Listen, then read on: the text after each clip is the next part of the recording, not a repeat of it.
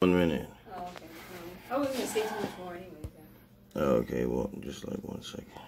Guys, I got um this pizza. I kind of I got it from Aldi. Then I added stuff like I added this salami and I added um pepperoni and stuff. I let it cool down for like five minutes. It's still really hot from the bottom and everything. But uh, but yeah, I want to try it out. Here's a piece of sausage too.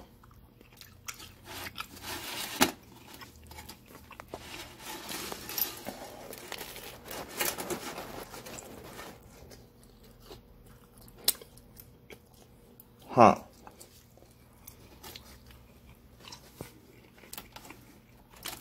That's hot.